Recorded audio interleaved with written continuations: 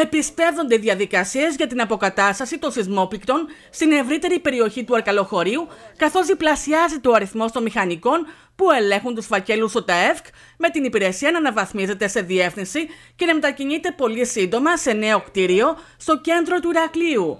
Αυτό ανακοίνωσαν ο Υπουργός Αγροτικής Ανάπτυξης και Τροφίμων Λευτέρης Αυγενάκη και ο Υφυπουργός Κλιματικής Κρίσης και Πολιτικής Προστασίας Χρήσο Τριαντόπουλος στο πλαίσιο σύσκεψης στο Δήμο Μινώα Παιδιάδα και σε μια προσπάθεια οι σχετικές διαδικασίες να εξελιχθούν με ταχύτερους ρυθμούς. Είναι η ενίσχυση με στελεχειακό δυναμικό, το οποίο αυξάνεται κατά 10 πολιτικούς μηχανικούς την επόμενη περίοδο με νέα ε, πρόσκληση, αλλά και με άλλους 20 που θα ενσωματωθούν ως προς την εργασία τους, ως προς την εμπλοκή τους από τα Χανιά. Οπότε ουσιαστικά θα έχουμε 60 άτομα να ασχολούνται κατά αποκλειστικότητα με το κομμάτι της αποκατάστασης. Γι' αυτό το λόγο και θέλω να συγχαρώ τον Χρήστο και φυσικά με τη συνεργασία και της νέας Δημοτικής Αρχής τα πράγματα ε, είμαστε βέβαιοι ότι τρέχουν και θα τρέξουν ακόμα γρηγορότερα.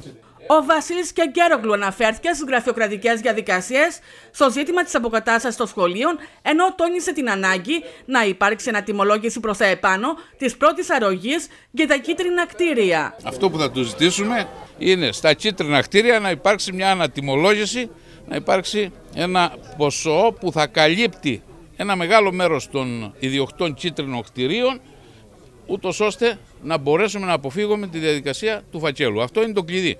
Σύμφωνα με στοιχεία της αρμόδιας υπηρεσίας, από τις 2.640 αιτήσεις που έχουν κατατεθεί για έκδοση άδειας επισκευής, έχουν εκδοθεί 126 άδειες, ενώ περί τις 60 περιπτώσεις είναι έτοιμες να διοδοτηθούν. Ακόμη έχουν εκδοθεί 91 άδειες ανακατασκευής. Ωστόσο, μεγάλο αγκάθι αποτελούν οι σοβαρές ελλείψεις στους φακέλους αλλά και προβλήματα σε θέματα ιδιοκτησιακά. Αλλά το 90% των υπολείπων φακέλων είναι λυπής.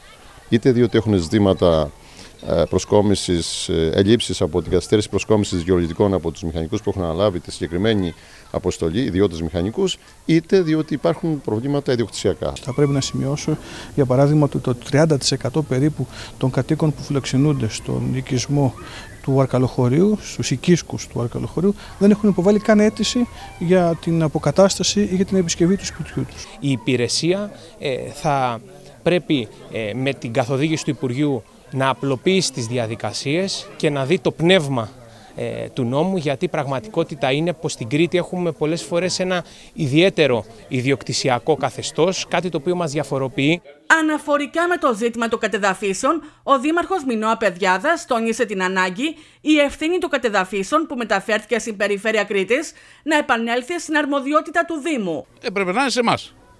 Θα είχε ξεκινήσει η διαδικασία.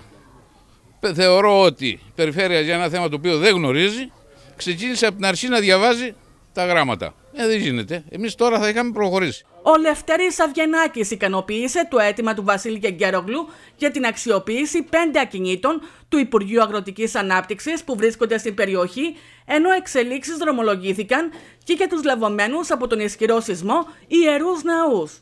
400.000 ευρώ πιστώθηκαν ήδη για την αποκατάσταση του καθεδρικού ναού. Με τα χρήματα αυτά όλοι οι καθεδρικοί ναοί των ενωριών θα εκπονήσουν δωρεάν τις μελέτες